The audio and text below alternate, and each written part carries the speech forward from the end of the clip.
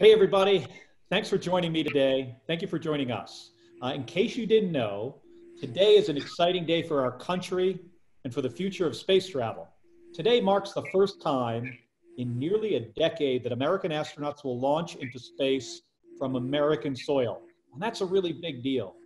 NASA astronauts Bob Behnken and Doug Hurley will fly to the International Space Station on SpaceX's Falcon rocket with a Crew Dragon capsule attached to the top. Now, I'm sure a lot of people have been wondering what it takes to prepare, prepare for a launch and also why this day is so significant. I thought it would also be a good opportunity to bring some of my former colleagues together, a couple astronauts, a, uh, a historic NASA flight director and space shuttle program manager who know a thing or two about what it's like to travel into space and what it's like to get a rocket ready to go into space. Um, so let me let me start off by introducing um, the three individuals I have with me today. Uh, they are, I'm going to start with Cady Coleman. Uh, Cady and I flew in space together. Cady's also one of the uh, few individuals who have flown in space with both uh, my brother Scott and I. And Cady has flown on the space shuttle, but also the Soyuz spacecraft. And then Dan Tani, uh, uh, Dan has flown uh, on space shuttle, I think space, well, obviously space shuttle Endeavour with me in 2001, but I think he also flew on Discovery and Atlantis. That's right. Take, took off on Discovery, landed on with Atlantis. And then Wayne Hale, former Space Shuttle program manager and a flight director on my, was my Ascent uh, flight director, Dan, for Dan and I in uh, 2001 on STS 108 for Space Shuttle Endeavour. Uh, so let me, let me start with, um, with Wayne. And uh, Let's start with a little bit about the historical significance of Americans getting back into space. And also, Wayne, if you could explain a little bit of the difference between the space shuttle system and what SpaceX is launching with Falcon and Dragon. So it, it's a it's really a historic day because America has been without a way to send astronauts to low Earth orbit uh, or even beyond for almost nine years. Um, before that time, that's the longest gap since Alan Shepard first went into space in 1961 for the United States. So, so this has been a long time coming. We've been relying on our international partners, the Russians, uh, to provide transportation, and that's worked very well, but you would like to be able to do it on your own.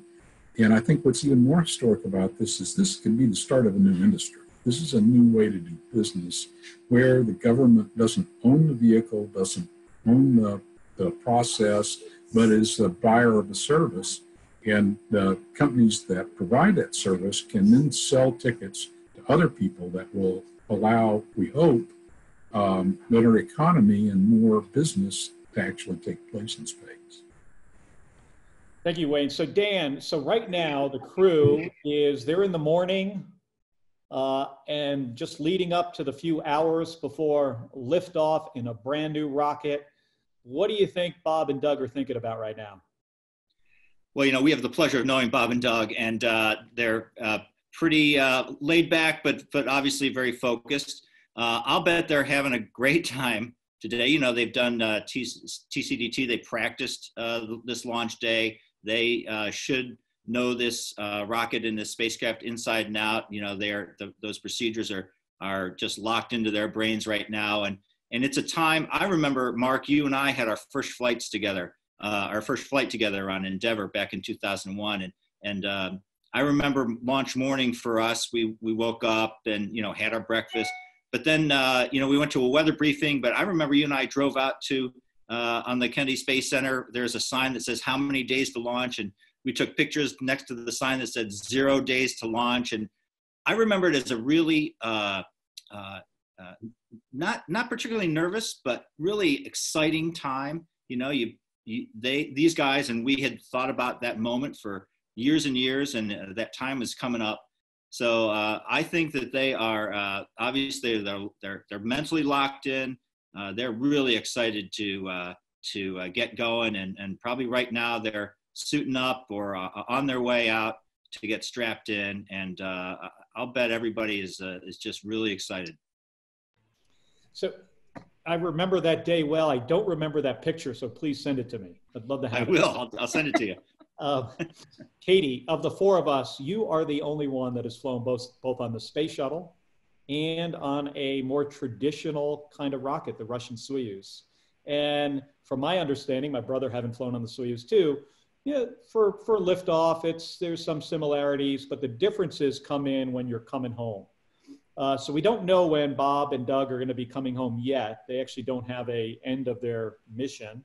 It's uh, kind of an open-ended thing. It might be a month, it might be three months. Uh, but can you describe from your own experience a little bit about the difference between launching in a spacecraft like the space shuttle and what it's like to launch and land in a capsule like Dragon? Well, you know, the, the biggest difference, in, and you've got a, the space shuttle there right next to you, is that, you know, we use all that fuel, the little white rockets and the fuel tank. I mean, we use all that fuel on the way up, but we're actually wearing our own protection on the shuttle, you know, the foam and all the um, insulation and everything. But then in a rocket, what's happening is, is your capsule is actually inside like a, a, a can.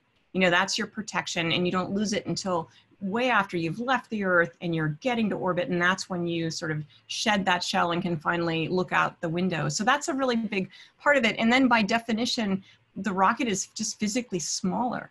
And i remember launching on the soyuz and it's i think you can just it's like you're wearing the soyuz. You know it's it's like you just like put that on like a coat and and that and those seats are small and we're all pretty close together.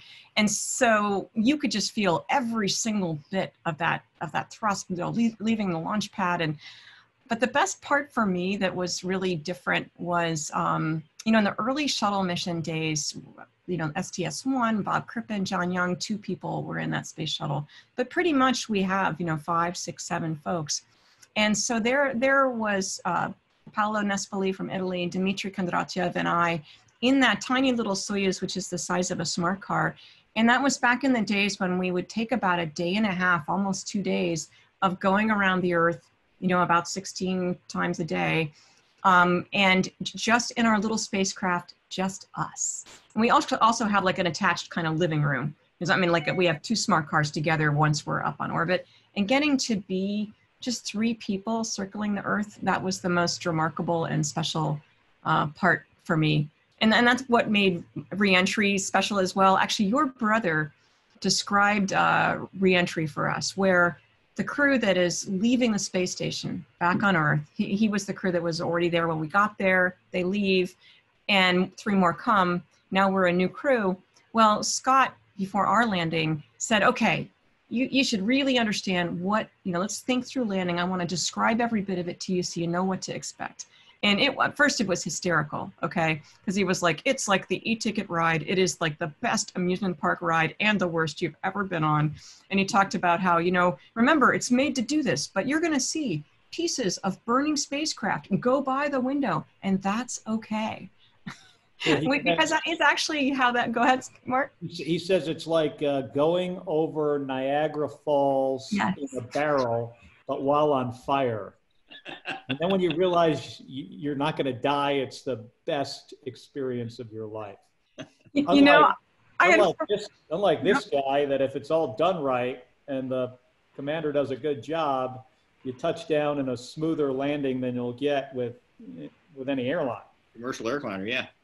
And Soyuz landing is solid. I had forgotten that Niagara Falls part of that, but you know, every bit of that um, description was actually great, and especially talked about parachute opening shock because you know you're coming through the atmosphere, and then now you're getting closer and closer. Those parachutes come out, and he, and he looks at me, looks at me right in the eye, you know, and he goes, "Cady, you have to not be talking when the parachutes open, okay? Because you'll bite your tongue."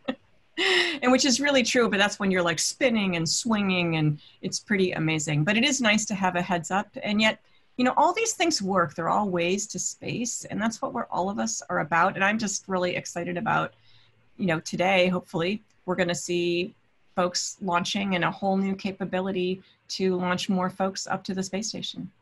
So i want to get back to wayne for a second here based on what cady just said. So this is a new capability today to get folks to the international space station. But we want to go to the moon And what kind of, what, what different capabilities will we need in the system to get to the moon and then ultimately to get to Mars compared to what the current Falcon Dragon combination gives us? So, so what we've got in the Falcon Dragon and also the, the Boeing uh, spacecraft online in some months is a taxi. It gets people to and from the space station. It doesn't do all the things that the uh, shuttle used to do. It doesn't have an airlock. It doesn't have a arm. It doesn't carry uh, incredible amounts of cargo, and on and on and on and on. It's a taxi. And, and the, the really nice part about this taxi is it's cheap and low cost and, and presumably reliable and as safe as it can be. Um, and what that does is it reduces the pressure on NASA's budget so that they can spend their money on the deep space exploration. So to go to the moon, you've got to have a spacecraft that's capable of spending much longer time in deep space. You've got to have a lander. Uh, you've got to go down to the surface and you've got to get back up. Everybody that's, you know, uh, looked at the Apollo missions, uh, we had the, the anniversary, the, the 50th anniversary last year, knows that there are all these you've got to have. Uh, and if you want to go to Mars, then you've got to be prepared to go on a voyage that's probably three years long. So you've got to have the living quarters and wherewithal to survive for three years coming and going to go to Mars, plus that lander and all the other things you might want to have, spacesuits and so forth. Yeah, that is going to be a amazing trip. I am so jealous of the first people that get to do that. Would love to do it myself, even though it is uh, a long time. I don't. I'm not so sure. Uh, my wife Gabby Giffords would allow me to go on the three-year trip, but um, I I, I, uh, I look forward to seeing that. So Dan, you flew in space for a long period of time, but I think one of the things that was interesting about your flight to the space station is it was kind of unclear. I think. Correct me if I'm wrong, but it was unclear like exactly when you were going to come home. And I know folks are uh, spending a, spending some time now in their houses with uh, quarantine. You know, some people might feel like it's locked down because we're dealing with a pandemic, and it's these are challenging and they could be stressful uh, times, and a little bit of uncertainty there. And you had to deal with a little bit of uncertainty in space and also some stress too uh, during your uh, shuttle flight or your, during your space station flight. So can, can you describe what that was like and maybe some of the some of the things that individuals could do and try to focus on to get through challenging and unexpected times like this? Yeah, sure. Uh, so uh, my my planned uh, flight, my planned mission to the space station was only for two months, and uh, because it just happened to be, I was up and down on the space shuttle, and uh, many factors place a launch, space shuttle launch, and so it just happened to be a pretty what short duration between those launches. And what happened was the shuttle that was going to come and pick me up had some problems on the launch pad that it took a long time to fix, and it turns out it took two months to fix those uh, problems. And uh, so that extended my mission duration from two months to four months. Now, I actually consider that a blessing. Uh, once you're in space, uh, there it, it, there's uh, it was hard for me to to want to come back down, uh, especially after a couple months. And so um, I really uh, got to cherish uh, the, the, the, the longer amount of time. But you're right, as they fixed these problems, these were pretty significant problems that required getting into the guts of the, the tank and the shuttle and, uh, and fixing some wires. And uh, so there was some uncertainty with the, what, if this would take weeks or months or longer to fix. So there was some uncertainty. But in the meantime, you know, I was really enjoying my additional time in space. Now, in that period, in that extended period, sadly, I, lost my mother, which was a obviously a tragic thing to happen and un, and unexpected, and uh, and so that added some complexity to my time and space, and it made me think about, you know, being so far away, sort of metaphorically. We were only a couple hundred miles away, but but unable to to come home. But uh, my feeling was that you know we the space station, we're trying to learn how to live in space. We want to go to Mars. We want to do these things that are uh, big missions and that will take a lot of time. And, and life is going to happen. And this, this is going to happen to people that go to Mars. And there are going to be joyous events in their lives that they'll miss and tragic events in their lives that they'll miss.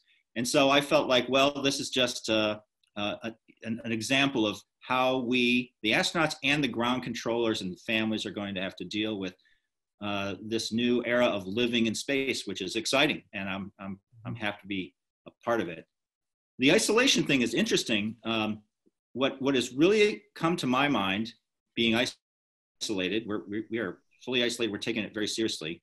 Is that when we trained for a space station, one of the things that we had to worry about the most was if we lost all the computers and now the space station is spinning out of not out of control, but but not in a controlled manner, and it can't talk to the ground and there's a procedure, a very long procedure, where we have to basically reboot the, the, the space station. And one of, I remember in training uh, that we talked about, okay, there's three of you on board. Uh, the commander is going to be doing this and this. Uh, flight engineer is going to be doing this. And, and the other flight engineer has to go to sleep. And he thought, what? What do you mean go to sleep? And the aha moment for me was, hey, in 12 hours and 16 hours, if we haven't reestablished communication with the ground, you're going to have a tired crew. You want a fresh uh, mind up there. You want somebody who's on top of their game to pick up that procedure. And it's your job to go to sleep.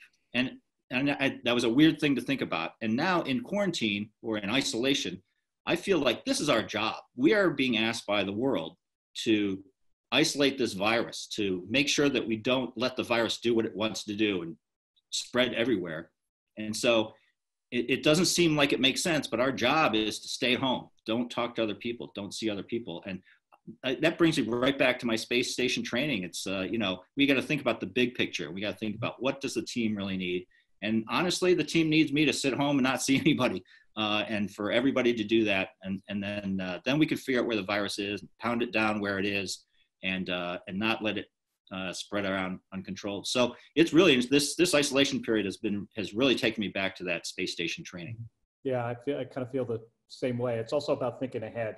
You know, right? Exactly right. Yep. The long the long picture. Right. Yeah. What what is it going to be like two two weeks from now or two months from now? That's uh, exactly let me go right. to a question I have from a teacher here in Arizona. And since, since this comes from a teacher, Cady, I understand that you now have a relationship with ASU, Arizona State University in Phoenix. Uh, I think you're doing some stuff with them. I don't know if it's exactly teaching a class. I am. Uh, I am actually their global explorer in residence, who doesn't always wow. live there. you know, it's actually a wonderful role in that um, it's a special place. I, and I know that there are, you know, more than there's more than one place in Arizona than ASU, but I'm uh, I'm somebody who's just all about education and i really i feel strongly about um, they've got a mission statement where they're they're very audacious. They believe in educating everybody and sometimes to do the right thing you need a catalyst to bring people together and look at each other and go oh we should be working together and that's kind of my job there at ASU. Um, so this question cady comes from sandy. She's a teacher in flagstaff. Okay. As a teacher when i'm getting ready to begin the semester i start having weird teaching dreams do you have any weird or stressful dreams leading up to a launch? I think that I, I wouldn't necessarily call it dreams, but I, I think you process a lot when you're asleep. And, and sometimes the right thing is, you know, you've been working and trying to fit a bunch of jigsaw pieces together or, you know, set in your mind what you're really doing on this procedure. On one of my missions, we launched the Chandra X-ray Observatory, you know, big X-ray telescope, $2 billion um, almost. And, uh, and I think that you get some of that stuff kind of sorted out. You sort of separate the forest from the trees when, when you go to sleep, and that's really helpful. Um, I do remember being on the space station and actually dreaming uh, often in, in zero G and coming home and doing that as well. So it was, I don't know, it was sort of sad when I stopped dreaming in zero G when I really realized I was I was home again. I, I completely agree with that. That's a bummer that I can't dream in zero G anymore. My brother wrote down his dreams. I think he may have told you this, Cady, when he was in space for, for his one year mission, because people would ask him after his six month mission. So, he, so during the one year in space, he wrote down some of his dreams, and they were crazy. You know how everybody, you kind of have crazy dreams? So he, he, he has a, has a uh, accounting of what he was dreaming in space. It's interesting for me. I think the entire time that I was an astronaut, I never had dreams about space. It's only after I left that I started having dreams of like flying the space shuttle or getting ready to go into space or come back, but never when I was there, strangely. Well, you know, we're pretty busy. I mean, it's hard for people to realize how busy it is up there, except in a Wayne, uh, Wayne's looking at us like, I know how busy you are. and, and somebody designed that plan and it was it was our team that designed that plan um, but uh, the way just the way of life and, and what we accept as kind of the new normal these it's getting back to what dan said you know about sort of isolation and and social distance and things like that is I, I tend to think that maybe astronauts and flight directors and, and people who are explorers i mean so that's really the whole exploration team mm-hmm. um, are very accepting of a new normal. Like we've decided we're going to go to a place where there's not gravity and we're going to get stuff done. And, uh, and so I, I, like that accepting of the new normal, but something uh, actually that relates to you and your brother that um, happened to me is I remember, and you just accept actually a sort of like almost European distance between each other where you're just, you're just a little closer because you it's it's loud up there with all the fans and stuff like that. And I was used to I was with your brother for about four and a half months up there, and then your crew came. He'd have gone home. Your crew came up, and and I remember you know suddenly finding myself sort of right next to you, and and you looked at me, and I looked at you, and I go, you are not Scott. right. I want to hear what Wayne has to say about what, you know, we're telling these space station stories, these, I mean, on orbit, it could be shuttle, it could be station, but tell us, give us a view into what it sounds like, what it feels like on the ground when, what? when you can tell us everything to do and, and we don't always do it. well, yeah, there is always that. It's a little bit like dealing with children in that you tell people what to do and they don't always do it. I mean, you know, I, I, I, uh, I, I have the greatest admiration for the crew, but the flight planners were always trying to put just one more thing in the plan. Can't they squeeze in five more minutes to do this extra experiment or something like that? And so uh, we, we, had a struggle at, at, the Flight Directors Council sometimes to decide what needed to, to go in, or maybe we had overstressed people. I will tell you that my pre flight dream was always about uh, somebody not doing what they were supposed to do. And that could be on the was ground. It, was it Mark? Yeah, no, I, I have some candidates. Oh, wait, Wayne, I'm curious. Did you ever have a crew revolt against you in any way? You ever feel no, that happened? No, no, not at all. No, we never had that. We worked very hard, I think, to try to to build that uh, esprit de corps where we were all on the same team. And um, you know, is any situation where you're at a distance, um, communication can play a role, and, and you have to really try hard not to get your wires crossed and, and miscommunicate and things. Um, but we we really tried hard. I think if you have to, you have to go all the way back to Skylab or something to find a, a place where the crew really didn't do what uh, what the mission control told them to do, and and I really don't blame the crew for that. That was more mission control's part. So we learned a lot over the years. We really did. Hey Dan, I got a question here from a six-year-old for you, and his name that's is. Right, that's right at my level. it's a it's a good question. He wants, he says, how will the rocket ship be launched into space? And while he's asking this, by the way, he picture him, he's jumping up and down with excitement just to ask this question. But so why don't you, uh, just so he understands, how does a rocket ship work? Yeah, well, okay, so the jumping up and down is good, but the the way to think about a rocket is uh, think about if you're on ice skates and you have uh, uh, heavy bowling balls or cannonballs and you throw the, the bowling balls while you're on ice skates and then you're going to move the other way. Then the harder you throw those cannonballs, the faster you're going to move on, on your ice skates. And that's how rockets work. They take stuff, the propellant, and they throw it out the back as fast as they possibly can. And the, because the stuff weighs, has weight, and just like on you on the ice skates, it, it means that the rocket is going to go in the other direction. And the more stuff it throws, the lighter it's getting. And so when it throws stuff, and when you see those fires and flames coming out of the rocket, that is just all that stuff coming out is unbelievably fast. And so when he gets into high school, he's going to learn about the conservation of momentum, and he's going to find out that MV with a really big V means uh, uh, this big M can move it this V this way. And that's how, that's all, that's the whole secret of rockets is trying to throw stuff as fast as you can out one end so that you can get some velocity in the other end? And that's a really good question from a six-year-old. Physics, good physics. That's awesome. I learned something there too, Dan. Seriously, you know, we all have our different ways of explaining it. I like that. Okay, great. I so demonstrated when I, I, so I taught a little science in uh, for a couple years, and and we did that with a, a, a, an office chair on rollers and and basketballs, and we we threw them, and and we could we could videotape it, and we could do the momentum. Uh, the momentum, the momentum exchange, and uh, and prove to ourselves that that's how it works. So, Cady, on uh, I, I think I know the, the the the answer from your experience. Well, I certainly know from mine. So this is from Patton in Queen Creek, Arizona. Okay. She wants to know, like on an airliner, do you all clap once you've reached orbit, like landing in a plane? Well, I'm going to say no. Man, I think I remember giving you a high five after MECO. Didn't we do that? What's that? Oh, yeah, I was going to say Dan. Oh, I thought you said oh, me. I'm like, yeah. I asked you, Cady, and but I, I, I remember a couple high fives. Not a lot of clapping, but. Well, and, and actually, our, our flight, STS 73, my first flight, we had five rookies and two experienced people. And we slipped seven times over 30 days. And after a certain amount of time, you just start to realize that maybe people were just fooling you and you weren't really going to get to go. And so I remember when we uh, we lifted off and there was hooting and hollering, and then there was a there was a voice that said, "Settle down."